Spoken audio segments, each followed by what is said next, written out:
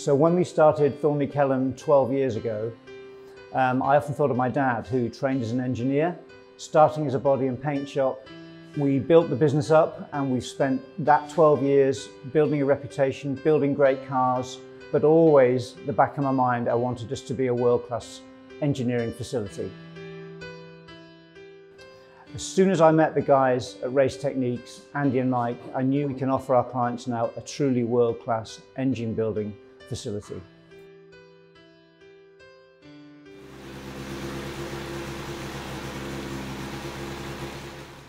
The is a Superflow 902 uh, water brake capable of handling 1500 horsepower continuously uh, with 1000 foot-pounds of torque. Uh, the room is specified to run up to 1500 horsepower. We have airflow capability to sustain that amount of power if needs be. Um, on, on here we just have a little 1293 FIA historic engine which is being developed for a customer. So the, the engine is run dynamically. We don't do static testing. Uh, we set the engine on a uh, on an acceleration rate and measure it dynamically as if it's in the car.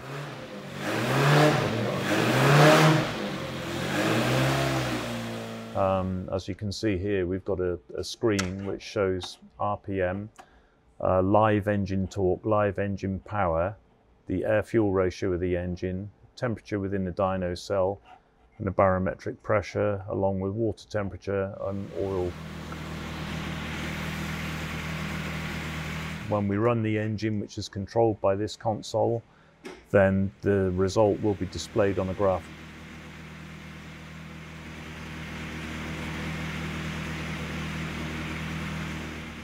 Uh, some of the engines we've run on here have been very diverse. So we've gone from a tiny 550cc V-twin Aprilia for a quad bike that came over from the United Arab Emirates uh, to be dynoed right the way through superbike engines, hill climb engines, and at the top of the tree was an ex-Michael Schumacher uh, Cosworth HB Formula One V8 engine, which we pulled to 12,000 RPM and it sounded absolutely glorious. So I think it's fair to say that this dyno has seen its fair share of engines over the years.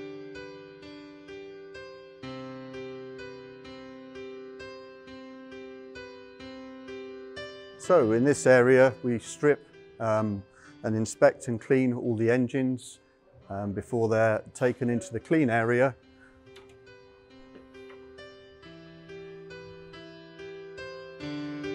depending on the engine's use, so for racing or whatever, we then move on to looking at the rules that may apply to uh, that racing class. So that, that may include uh, the ability to redesign a crankshaft, um, to port a cylinder head, to have um, pistons made, valves made, collets made, and various other things. So all of these things are assessed depending on the job that is required.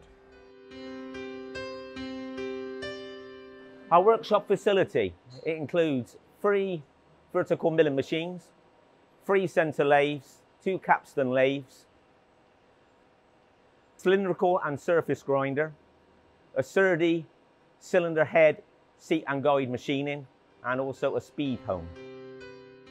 Types of work we do include cylinder block and cylinder head machining, brake disc, brake drum skimming, and also parts for tracking, suspension and um, running gear also. Uh, this is uh, an XYZ 4000. Um, this machine has uh, a large bed on it so you can machine up to a meter in the x-axis and 400 millimeters in the y-axis. Here we have uh, a ProtoTRAK lathe. This is um, a, a, CNC machining center. Um, you can do all sorts of things, profiling, uh, boring, turning, threading.